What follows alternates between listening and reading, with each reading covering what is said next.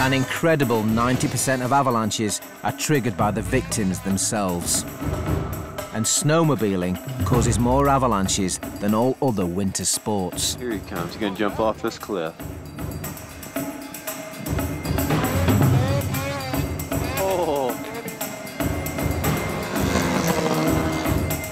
Tyson Black from Utah loved to snowmobile. I pretty much expect to not ever see him on the weekend when there's snow on the ground. March 2012, Tyson convinced his partner Brandy to go on her first ever snowmobile trek.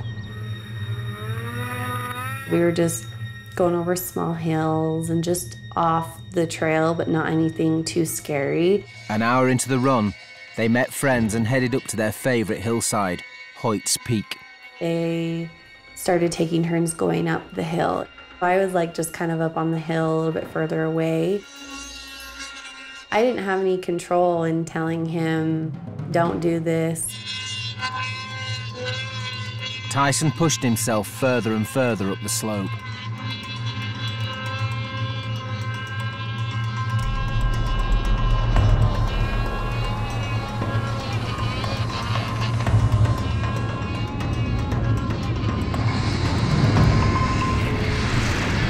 Where's he at? Where's he at?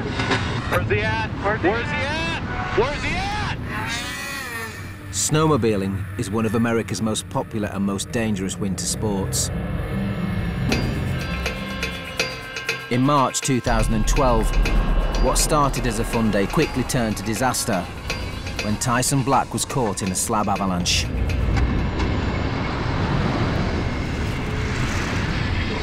Where's he at? Where's he at? Where's he at? Where's he at? I couldn't believe what was happening. It was like in slow motion for me, and it just it wasn't real for a minute. Once the avalanche stopped is when I started to panic because I didn't see him anywhere. Get it off! Does he have a beacon? No! Oh my god, he doesn't even have a beacon on. Get shovel out. He'd been buried for five minutes, and without a tracking beacon, locating him under the snow is extremely difficult. I didn't know what we were gonna do. Are we even gonna be able to find him? Is he gonna be breathing when we find him? Bronson, we're at your bag. We just got our probes Here. And we decided to look around the snowmobile because they're most likely to try to stick with this. I didn't know how long he would have under there, and all the guys around us were shouting out. Um, it's been nine minutes, it's been 10 minutes. He has until 12 or 15 minutes. If you're found within quarter of an hour, there's a 90% survival rate. After that, your chances plummet. It had hit about 15 minutes. I just thought, we're never gonna find him. Like, how are we supposed to find him in this big amount of snow? There were so many things going through my head. What am I gonna do with my son without a dad?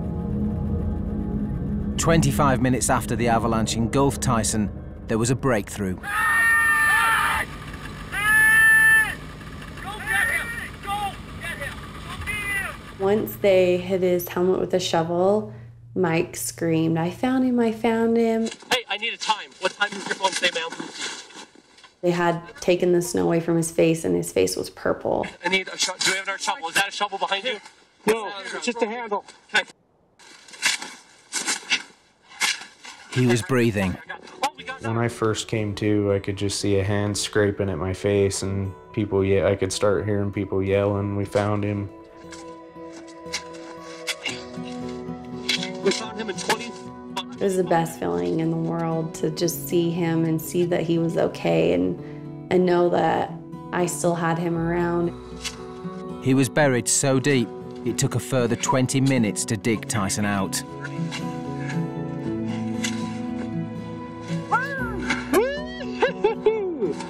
Get that, Paul. Oh. Oh, yeah. Feel lucky to be alive and makes me like kind of just burning inside with all the what everybody that was there had to go through trying to find me. Tyson was lucky. His friends were able to search for him from the minute he was buried.